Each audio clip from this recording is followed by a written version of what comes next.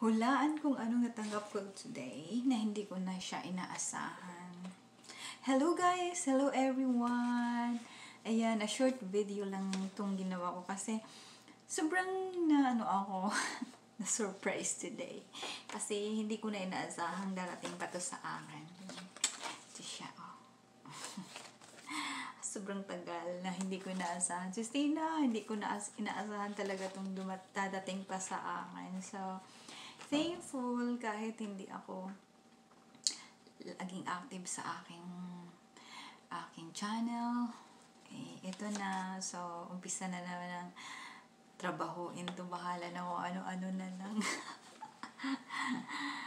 uh, yun lang. Uh, sa short na video na ito, pagpaalam ko lang sa inyo na nagkaroon na, na andito na sa akin ang Google AdSense ko. Okay? And bye!